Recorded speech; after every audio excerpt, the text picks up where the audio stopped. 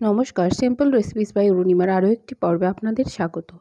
আজ আপনাদের জন্য শীতের সন্ধ্যার একটি পারফেক্ট স্ন্যাক্সের রেসিপি নিয়ে চলে এসেছি। আজ রয়েছে আচারি লঙ্কার নিরামিষ চপের একটি রেসিপি যা কিন্তু শীতের দিনে সন্ধে খেতে দুর্দান্ত লাগে। চলুন দেখি তাহলে কি কি লাগছে। প্রথমে এখানে আমি নিয়ে নিয়েছি আচারি লঙ্কা, সাথে রয়েছে সেদ্ধ করা আলু, আর রয়েছে ধনে পাতা কুচি, কাঁচা লঙ্কা কুচি, হলুদ গুঁড়ো, রয়েছে গরম মশলার গুঁড়ো, জোয়ান, জিরে, আদা রসুন, বাটার, রয়েছে কিছুটা ধনে গুঁড়ো, কাসরি মেথি এবং স্বাদমতো লবণ ও চিনি। এবার আমি একটা পাত্রে সর্ষের তেল গরম করে প্রথমেই জিরে আর জোয়ানটা ফোড়ন দিয়ে নিয়েছি। একটু ভাজা ভাজা করে নিয়ে আমি দিয়ে দিয়েছি আদা রসুনের পেস্টটা। দিয়ে ভালো করে নাড়াচাড়া করে যতক্ষণে মশলার কাঁচা গন্ধটা চলে যায় ততক্ষণ ভেজে নিয়েছি। তারপর আমি অ্যাড করে দিয়েছি আগে থেকে সেদ্ধ করে রাখা আলুটা। দিয়ে ভালো করে মিশিয়ে নিয়েছি।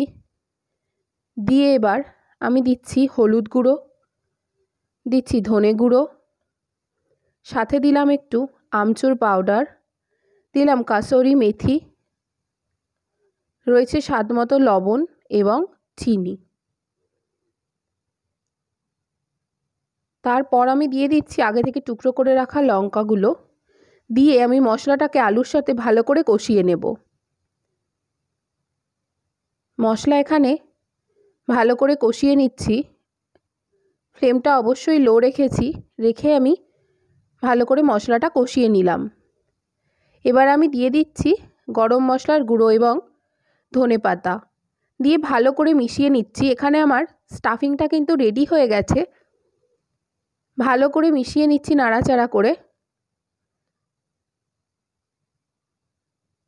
তারপর এটাকে আমি একটা পাত্রে ঠান্ডা হওয়ার জন্য নামিয়ে রাখছি।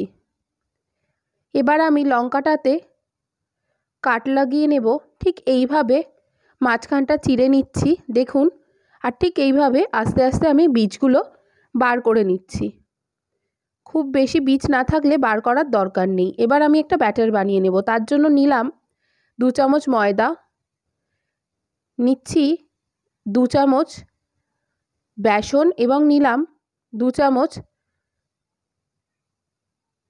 কর্নফ্লাওয়ার। সাথে দিলাম একটু লবণ এবং বেকিং পাউডার।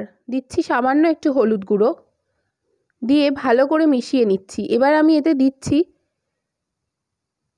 সোডা ওয়াটার দিয়ে ভালো করে, অল্প অল্প করে মিশিয়ে আমি একটা ব্যাটার বানিয়ে নিচ্ছি।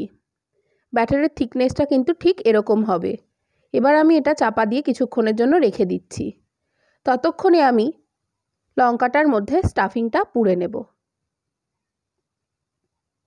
ঠিক এইভাবে ঠেসে ঠেসে স্টাফিংটাকে দিয়ে লঙ্কাটা ভর্তি করে নেবেন। দেখুন, আমি আর একটাও দেখিয়ে দিচ্ছি। ঠিক এইভাবে আস্তে আস্তে স্টাফিংটা ঢুকিয়ে ভর্তি করে নেবেন। এবার কড়াইতে তেল গরম করে নিয়ে আমি এক একটা লঙ্কা ব্যাটারে ভালো করে কোট করে নিচ্ছি, নিয়ে আস্তে আস্তে তেলের মধ্যে ছেড়ে দেব। দেখতেই পাচ্ছেন ঠিক কীভাবে আমি একটা একটা করে লঙ্কা দিয়ে আস্তে আস্তে ভেজে নিচ্ছি। ঠিক এইভাবে আপনিও আস্তে আস্তে ভেজে নেবেন। গ্যাসের ফ্লেমটা এখানে কিন্তু মিডিয়ামে রাখবেন। আমার একটা পিঠ হয়ে গেছে, আমি আর একটা দিককে উল্টে দিলাম। দিয়ে ভালো করে ভেজে নিচ্ছি। এখানে বলি রেসিপিতে ব্যবহৃত সমস্ত উপকরণের পরিমাণ কিন্তু আমি ডিসক্রিপশানে অ্যাড করে দিয়েছি। একটু চেক করে নেবেন। এখানে আমার সমস্ত চপগুলো ভাজা হয়ে গেছে। আমি এবার এগুলো গরম গরম সার্ভ করে নিয়েছি। অবশ্যই বলব ব্যাটারের ক্ষেত্রে সোডা ওয়াটারটা ইউজ করবেন, তাহলে দেখবেন ব্যাটারটা খুবই ক্রিস্পি হবে। আমি এখানে একটা চপকে কেটে দেখাচ্ছি। দেখুন, বাইরেটা কতটা ক্রিস্পি আর ভেতরটা ঠিক কতটা পুর ভরে কত সুন্দর হয়েছে। যদি আপনাদের এই রেসিপিটি ভালো লাগে, তাহলে অবশ্যই একটি লাইক করবেন শেয়ার করবেন এবং কমেন্টে জানাবেন আপনাদের কেমন লাগল। ঠিক এইভাবেই বানিয়ে নিন শীতের দিনে লঙ্কার চপ। আর নতুন রেসিপি পেতে আমাদের চ্যানেলটি সাবস্ক্রাইব করুন।